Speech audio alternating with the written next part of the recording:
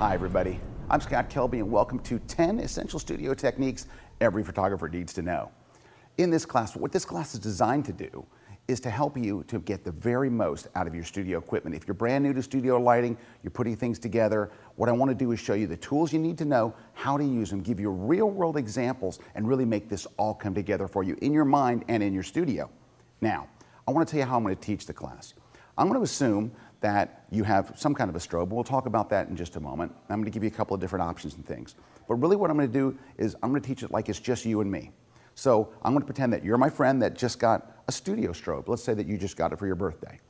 And you really don't know that much about it. You're like, you know, I have this great strobe and I know people are doing really cool stuff in the studio with this, but so, so what do I need? What do I need to do? What do I need to know? And that's what we're going to do. It's just going to be one-on-one, you and me, and we're going to go through all these different scenarios. We're going to set things up from scratch.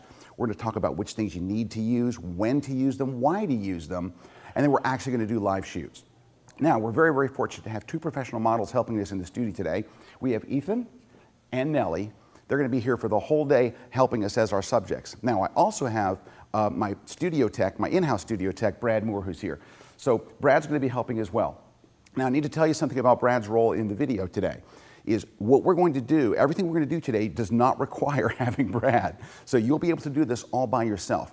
But I think the key reason to have Brad in the studio today is so you don't have to sit there and watch me moving around lights all day long. We can get this done tw in twice the time, and you can get back to the studio and start shooting quicker because I won't have to physically pick up and move each piece. Brad's going to be helping me out through the entire day. So it's going to go, that's why he's here, not because you need a second person in the studio. You don't. You can do this all by yourself. All right, we've got a lot to cover, so let's get started.